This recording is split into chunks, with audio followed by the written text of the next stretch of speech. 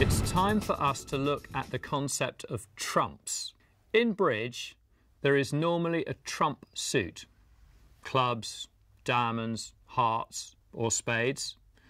There is an alternative, the fifth possibility, that's called no trumps.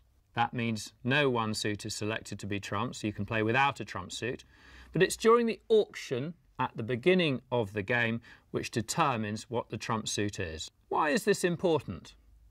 Well, because being the trump suit means that all the cards of that suit beat all the cards of other suits. If, say, hearts are trumps, a heart, any heart, will beat all clubs, all diamonds and all spades. Let's start by seeing how we select trumps and then we'll see the effect trumps have on the play. Now once the players have sorted out their cards, the auction will begin. One diamond. One diamond. Don't worry too much what that one means for now. The important thing is that Caroline wants diamonds to be trumps because she has lots of them. Two clubs. Two clubs. Nick wants clubs to be trumps. Two hearts. Two hearts. Partner, I'm not so keen on your diamonds, but I'm strong in hearts. Three clubs. Three clubs. Grzina's saying, OK, partner, I hear your two club bid. If you want clubs to be trumps, so do I. I also want clubs to be trumps. Back to Caroline. Three diamonds. Partner, I bid diamonds earlier. Now I am bidding diamonds again. I don't like your hearts much, and I really, really do want diamonds to be trumps. I really have a lot of them, perhaps six cards or so. Pass, pass, pass. Now, after three passes in succession, the auction is concluded.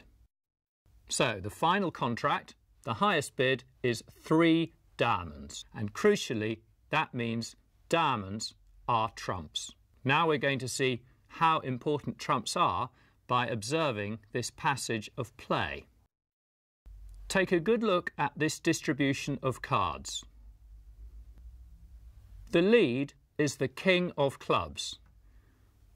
Declarer plays the three from the dummy, and the third player realises there's no point in playing the ace because partner's king is going to win the trick. So she plays the four, Declarer plays the two, because you have to follow suit. A trick. The player who won that trick then leads to the next trick. They reason that their king won the trick, presumably because their partner holds the ace. If Declarer had held the ace, she would surely have taken the king with her ace, but she didn't. So now they lead the six of clubs. Dummy plays the seven, and the third player, as partner wisely predicted, plays the ace. And now you'll see the power of the trump suit. Trumps are diamonds, as determined during the bidding, and Declarer has no more clubs. If she had a club, she would have to play a club. You have to follow suit. But she has no more clubs, and so she trumps it. And that is her trick, even though it's a lowly four of diamonds and her opponent has played an ace. She wins it because she has played the trump suit. So the choice of trump suit in bridge is absolutely vital. And the general rule when choosing the trump suit is that it's quantity, not quality, that counts.